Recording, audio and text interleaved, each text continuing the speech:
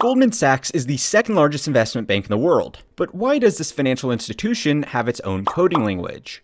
Goldman Sachs earns a large share of their revenue by assisting other companies with large financial maneuvers. This could be anything from giving these companies a loan, all the way up to facilitating an initial public offering.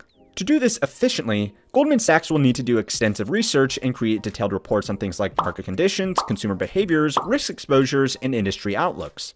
To create these reports accurately, Goldman needs to collect a lot of data, and to work with these pools of data in an efficient and above all else secure way, they need a program. The problem was back in the 1990s, no such program really existed, so they made their own. Slang, as it was called, was built from the ground up to specifically work with the kind of financial data that was used by the firm. Today, there are much better and more modern alternatives, including their own updated in-house programming language. But most analysts working at the firm still need to learn the comparatively ancient system that has become so ingrained in the fabric of the bank. And that's probably why